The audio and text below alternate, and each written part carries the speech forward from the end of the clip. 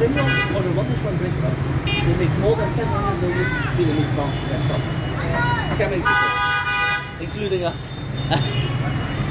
At least, at least we're like not they're like only owning ones, whatever. And, yeah. Uh, but I get my half revenge by writing more shit reviews. Or, or even walk there, reject them, tomorrow walk there again. and yeah, we should. We should order heat and then go no. Or rudely reject them, or negotiate the price saying, no, this is only 10,000 euros. I pay